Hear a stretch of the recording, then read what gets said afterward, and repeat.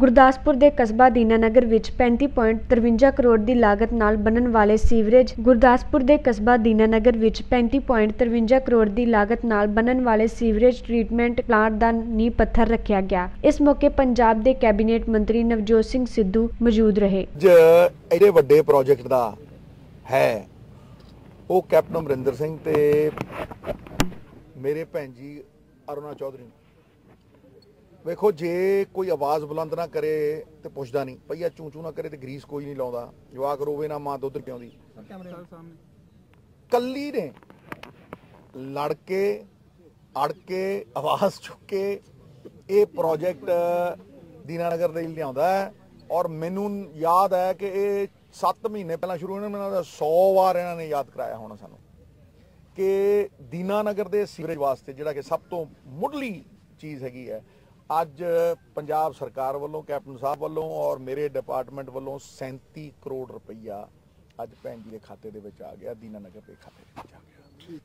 ਕੋਈ ਕੁਝ ਵੀ ਕਹੀ ਜਵੇ ਤਾਂ ਕੋਈ ਤੂਲ ਹੁੰਦਾ ਤੁਸੀਂ ਕੋਈ ਸੋਨੀ ਟੀਵੀ ਵੱਲੋਂ ਸਟੇਟਮੈਂਟ ਸੁਣੀ ਹੈ? ਇਹ ਜੀਆਂ ਨਿਊਜ਼ਾਂ 200 ਵਾਰ ਚਲਾ ਚੁੱਕੇ ਆ। ਪਹਿਲਾਂ ਵੀ ਚਲਾ ਚੁੱਕੇ ਆ ਹੁਣ ਵੀ ਚਲਾ ਚੁੱਕੇ ਜਦੋਂ ਵਿਧਾਨ ਸਭਾ ਦਾ ਸੈਸ਼ਨ ਸੀ ਵਿਧਾਨ ਸਭਾ ਦੇ ਸੈਸ਼ਨ ਦੇ ਵਿੱਚ ਮੈਂ ਉੱਥੇ ਨਹੀਂ ਜਾ ਸਕਦਾ ਸੀ। ਤੇ ਉਹਨਾਂ ਨੇ ਦੋ ਸ਼ੋਜ਼ ਲਈ ਕਿਸੇ ਹੋਰ ਨੂੰ ਬੁਲਾਇਆ। ਠੀਕ ਹੈ? ਮੇਰੇ ਕੋਲ ਜਾਂ ਤੁਹਾਡੇ ਕੋਲ ਕੋਈ ਉਹਨਾਂ ਵੱਲੋਂ ਇੰਟੀਮੇਸ਼ਨ ਹੋਵੇ ਕੋਈ ਉਹਨਾਂ ਦੀ ਸਟੇਟਮੈਂਟ ਹੋਵੇ ਤੇ ਮੈਨੂੰ ਦੱਸੋ ਹੁਣ ਜੇ ਕੋਈ ਧੂੜ ਚ ਟੱਟੂ ਉਡਾਈ ਜਾਵੇ ਉਹਦਾ ਤਾਂ ਮੈਂ ਕੋਈ ਇਲਾਜ ਨਹੀਂ ਕਰ ਸਕਦਾ ਨਾ। ਤੇ ਸਮਝ ਮੇਰੀ ਗੱਲ ਨੂੰ ਸਮਝ ਲਓ। ਤੇ ਇਹ- ਇਸ ਗੱਲ ਨੂੰ ਆਪਾਂ ਇਹ ਕਹਦਾ ਮੈਂ ਜੇ ਉਹ ਸੋਨੀ ਟੀਵੀ ਵੱਲੋਂ ਤੁਹਾਡੇ ਕੋਲ ਕੋਈ ਇੰਟੀਮੇਸ਼ਨ ਹੈ ਜਾਂ ਕੋਈ ਤੁਸੀਂ ਜ਼ਰੂਰ ਚਲਾਓ ਭਾਈ। ਕਿਆ ਵਿਰੋਧੀ ਕੌਣ? ਇਹ ਇਹ ਇਹ ਕੋਈ ਹੈ ਹੀ ਨਹੀਂ ਗੱਲ ਨੂੰ ਸਮਝ ਲੈ ਮੇਰੀ ਗੱਲ। ਕੱਲ ਵੀ ਪਰਸੋਂ ਵੀ ਤੇ ਅੱਜ ਵੀ ਜੀ। ਆਪਣੇ ਬਿਆਨ ਤੇ ਕਾਇਮ ਆ। ਕੀ ਅੱਜ ਚੰਦ ਅੱਤਵਾਦੀਆਂ ਦੇ ਅੱਗੇ ਘੁੱਟਣੇ ਟੇਕਦੀ। ਹੈ ਕੀ ਸਰੈਂਡਰ ਕਰੀਏ?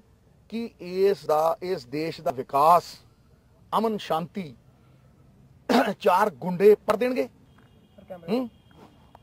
ਇੱਕ ਗੱਲ ਨੂੰ ਯਾਦ ਅੱਤਵਾਦੀ ਦੇ ਨਾਲ ਉਹਦੇ ਮਨਸੂਬੇ ਨੂੰ ਮਾਰਨ ਦੀ ਲੋੜ ਹੈ। ਔਰ ਉਹਦਾ ਮਨਸੂਬਾ ਕਿੱਦਾਂ ਮੁਰਦਾ ਹੈ? ਕਿ ਵਿਕਾਸ ਦੇ ਚੱਲਦੇ। ਇਸ ਦੇਸ਼ 'ਚ ਇਸ ਸੂਬੇ ਦੇ ਵਿੱਚ ਅਮਨ ਉਹ ਚੱਲਦਾ ਰਹੇ। ਔਰ ਜਿਨ੍ਹਾਂ ਨੇ ਇਹ ਘਿਨੌਣਾ ਕਾਜ ਕੀਤਾ ਉਹਨੂੰ ਸਜ਼ਾ ਯਾਫਤਾ ਕੀਤਾ ਜਾਵੇ ਕੁਚਲ ਦਿੱਤਾ ਜਾਵੇ। ਕਰਦਾ ਕੋਈ ਹੈ ਤੇ ਮਰਦਾ ਕੋਈ ਹੈ। ਪਾਕਿਸਤਾਨ ਦੇ ਦੋਸ਼ੀ ਨਹੀਂ ਹੈਗੇ ਬੰਦੇ ਜੀ। ਮੇਰੀ ਗੱਲ ਮੇਰੀ ਗੱਲ ਸੁਣ। ਭਾਈ ਕਿਸੇ ਗੁਰੂ ਗੋਬਿੰਦ ਸਿੰਘ ਦੇ ਸਿੱਖ ਦੀ ਕਿਸੇ ਗਰਭਵਤੀ ਮਾਂ ਦੇ ਗਰਭ ਦੇ ਵਿੱਚ ਪਏ ਬੱਚੇ ਨਾਲ ਦੁਸ਼ਮਣੀ ਹੋ ਸਕਦੀ? ਹੈ? ਕਿਸੇ 90 ਸਾਲ ਦੇ ਬਜ਼ੁਰਗ ਨਾਲ ਜਿਨ੍ਹਾਂ ਤੇ ਬੰਬ ਚੱਲਦੇ ਆ ਅੰਤਾਂ ਵਿਛੀਆਂ ਹੁੰਦੀਆਂ ਕੌਣ ਹੁੰਦੇ ਨੇ ਵੇਖਿਆ ਕਦੇ? ਉਹਨੂੰ ਤੇਰੀ ਦੁਸ਼ਮਣੀ ਹੋ ਸਕਦੀ ਹੈ। ਕਿਸੇ 2 ਸਾਲ ਦੇ ਬੱਚੇ ਦੀ ਕਿਸੇ ਨਾਲ ਦੁਸ਼ਮਣੀ ਹੋ ਸਕਦੀ ਜਿਨ੍ਹਾਂ ਨੇ ਇਹ ਕੀਤਾ ਹੈ, ਉਹ 20 ਸਾਲ ਦੇ ਫਿਰਦੇ ਆ ਜੀ। ਹੁਣ ਛੱਡ ਗਿਆ ਸੀ ਉਹਨਾਂ ਨੂੰ? ਪਾਰਟੀ ਦਾ ਇੱਕ ਸਟੈਂਡ ਹੈ। ਮੈਂ ਉਸ ਸਟੈਂਡ ਦੇ ਉੱਤੇ ਅਟਲ ਖੜਾ ਹੁਣ ਕੋਈ ਉਹਨੂੰ ਘੁਮਾਈ ਫਿਰੀ ਜਾਵੇ ਉਹ ਮੇਰਾ ਕਸੂਰ ਤਾਂ ਨਹੀਂ।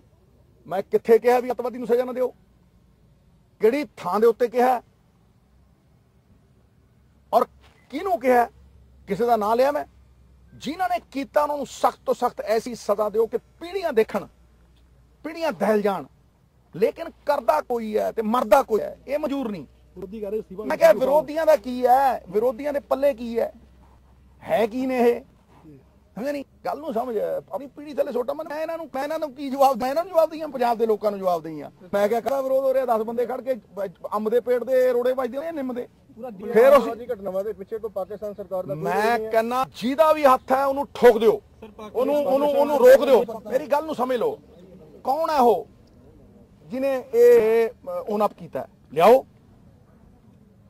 ਕਰੋ ਜੰਗ।